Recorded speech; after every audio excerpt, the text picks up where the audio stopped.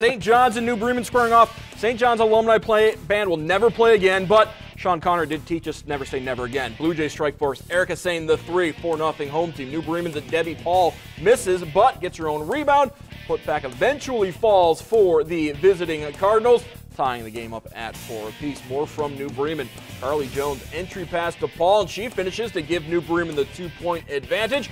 Other end, St. John's Sydney Fishball working in the paint, gets the glass to go. Retying the game at six. Late in the first, Lexi Hayes just inside the arc. It's a two-pointer, but two big points as St. John's takes the lead after the first quarter.